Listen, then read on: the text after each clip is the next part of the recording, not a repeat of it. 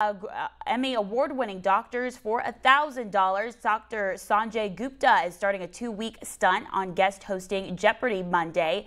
The Associate Chief of Neurosurgery at Grady Memorial Hospital in Atlanta was asked to fill in on the quiz show earlier this year. Most people know Gupta as chief medical correspondent for CNN and his contributions to 60 Minutes on CBS.